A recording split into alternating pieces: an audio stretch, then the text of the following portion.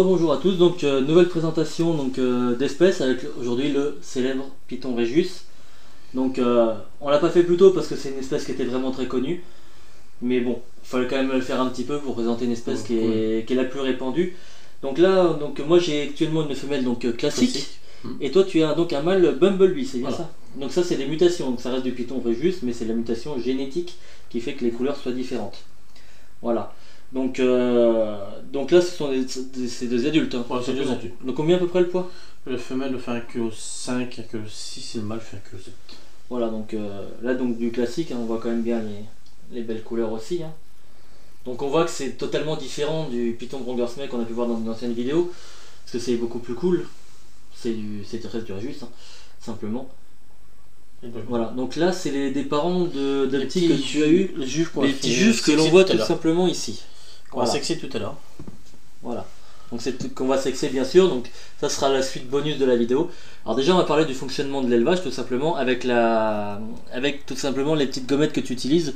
Donc, donc là c'est ils sont dans les boîtes parce qu'ils sont en rack. Donc les rack Terra c'est toujours le débat machin. C'est pas Là, le c'est de- du juvénile. Voilà. Voilà. Là c'est du juvénile, du python régus qui est un python qui stresse facilement, autant le mettre Ça se en voit déjà. Voilà ça se voit oui. Puis même elle direct est Un peu moins elle. Hein. Elle un est peu plus curieuse, la- un peu plus un peu plus curieuse. Lui, il est plus sur la défensive. Mais les bébés, c'est voilà, ça sort de l'œuf, c'est très craintif, c'est normal, ça arrive dans le nouveau monde, ça c'est ça- c'est pas où se trouve le prédateur machin, ça se défend. C'est logique. Donc dans les racks, ça stresse beaucoup moins. Donc là, tu, t'es- toi tu utilises le, les systèmes de Un gommettes système de gommettes. pour la vision rapide tout simplement de, bah, de si ça mange ou pas Voilà. et si c'est quel sexe c'est aussi également. Voilà. Mais tu utilises quand même à côté des fiches pour. euh, Oui, bah quand même. voilà. Donc après, il y a plusieurs techniques à faire. Moi, personnellement, j'ai des racks, mais sur mes racks, il est juste présent le nom des parents, enfin le, le code de l'animal, en fait, le code du petit, sa date de naissance, son poids et sa taille de naissance. Le reste, tout est sur fiche. Donc après, c'est deux méthodes différentes, chacun sa méthode. Chacun sa méthode. Voilà. Après, je pense on peut être Donc- plus pointilleux que ça, de toute façon. Voilà, de toute façon, après, c'est chacun sa méthode pour être pointu. euh, qu'il y a eu. voilà, c'est du moment que le suivi est bon, ça. Il faut qu'on puisse savoir quel poids fait l'animal, telle date, s'il a mangé, euh, voilà. Donc après, donc le, pour revenir sur la présentation de l'espèce, donc le python régus, on voit beaucoup de mutations dans la, enfin, qui arrivent euh, sur à la base reptile. À base de, de- À base naturelle, quand même. quelques, t'as quelques mutations, oui. Comme le pitbull, le binous. euh, Voilà, c'est ça peut arriver dans la nature, mais pas toutes celles qu'on trouve en bourse, hein, Non, ni en temps. boutique. Après là, c'est du classique, donc c'est la forme que vous trouverez le plus dans la nature. Donc ça vit principalement en Afrique, Oui. dans les terriers africains, bien Ouais, sûr, La, la termitière. les termitières, et ça chasse principalement du, La nuit, ouais, le voilà, la nuit du rongeur, quoi, à peu près. Ouais, du rongeur. Voilà. Donc euh, c'est, ça prend sa chaleur donc par le dessous. C'est pour ça d'ailleurs qu'on utilise en Par le dessus aussi, de toute façon. par le dessus, mais ça chauffe les pierres qui rechauffent Mm. derrière. Donc, il vaut mieux chauffer par le dessous en tapis. Voilà. Donc là, on voit qu'elle me regardait bien. J'ai l'impression que j'étais vraiment. euh, Il, il m'adore en ce moment. Il m'adore. Donc, euh, donc voilà. Donc euh, ça, ça vit principalement la nuit. Ça bouge pas énormément. C'est vrai que c'est un serpent qu'on conseille beaucoup aux débutants. Parce que pourquoi? Parce qu'il bouge très peu, ça a très peu mordeur, on va dire en termes défensifs. Euh, le seul souci, ce qu'il y a, c'est que si ça veut pas manger pendant plusieurs mois, ça marche pas. C'est tout enfin, On peut faire ce qu'on veut, ce sera pareil.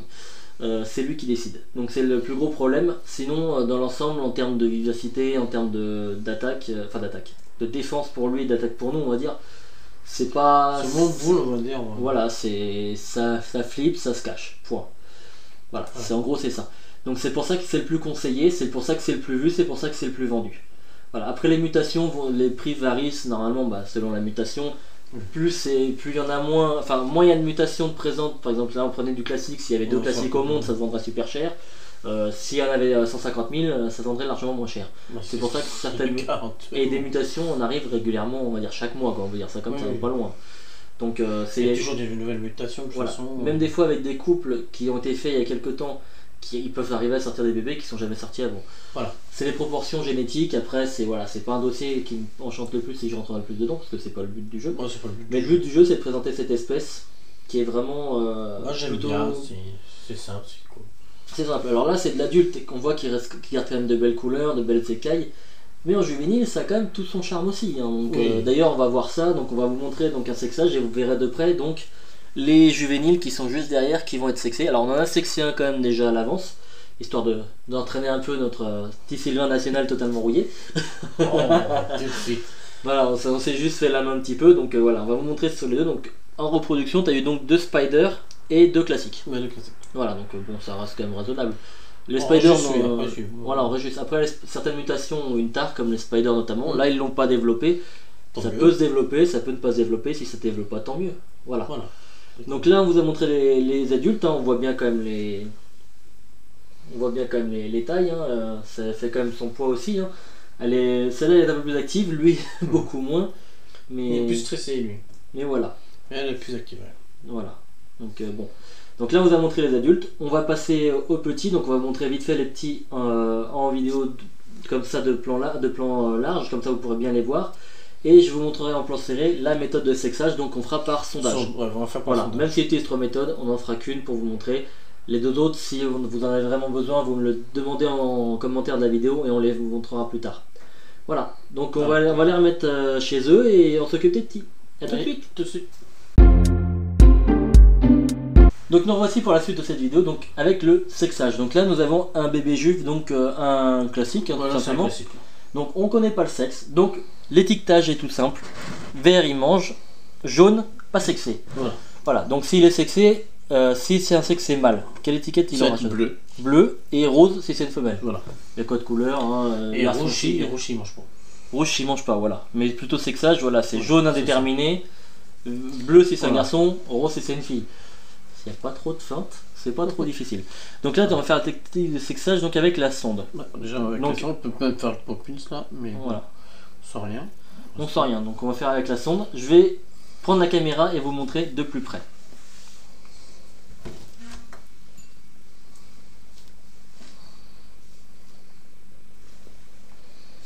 Donc là on essaie de maintenir le serpent tout simplement.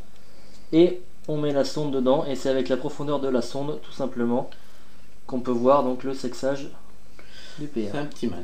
Ce serait un petit mâle. Voilà. Voilà. Donc on voit bien aussi sur l'image hein, les ergots euh, présents au niveau du, du cloaque, hein, on voit ça très très bien. hein. Voilà, tout simplement. Donc ça c'était le sexage avec la sonde.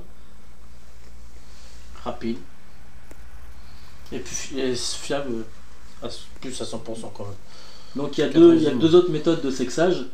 Donc euh, les autres méthodes de sexage on va pas les faire là, on peut vous les montrer, enfin vous montrer au moins une, c'est le, le poppins comme tu disais. Voilà. L'immer- Je les montrer bien devant va la caméra. Ça va pas, ça va pas le. Voilà, donc euh, ça consiste tout simplement à passer le doigt au niveau du cloaque. Voilà, Et si on sent les petites bosses, en fait c'est les hémipénis qu'on sentirait voilà, pour un mâle. on Mais c'est pas, on le sent pas tout le temps, c'est ça. le Voilà, on sent pas tout le temps et Ah, si c'est on pour- sent pas, Ça, c'est pas fiable. voilà, on, si on le sent pas, si on le sent pas tout le temps déjà à la base pour un mâle, si on le sent pas du tout, on peut pas non plus dire que c'est une femelle à 100%. Parce que là, on le sent pas. et, Voilà, on euh, le sent avec pas, mais la sonde, voit, ouais. voilà.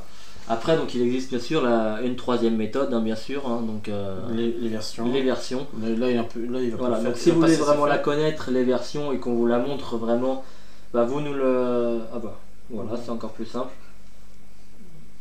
Ouais, puis non, il fait pas. alors, Voilà, les Ça marche pas à tous les coups. Voilà, ça marche pas tous les coups non plus, mais la sonde c'est la plus fiable. Ouais, c'est plus fiable. Voilà, donc la sonde dirait donc mal. Euh, les versions, on n'a rien senti. Et la, de- la dernière, euh, bah, il n'a rien voulu montrer. Voilà. Il me kiffe. Donc, euh, donc voilà, donc ça reste du.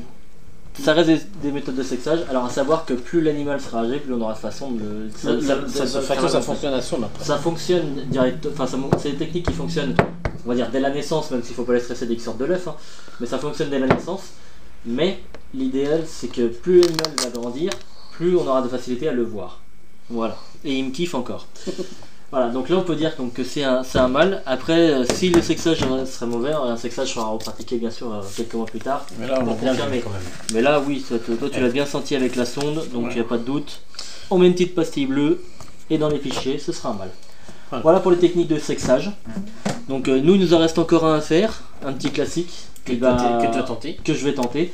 Donc bah, on se dit à bientôt pour une nouvelle vidéo et puis bah, salut Salut.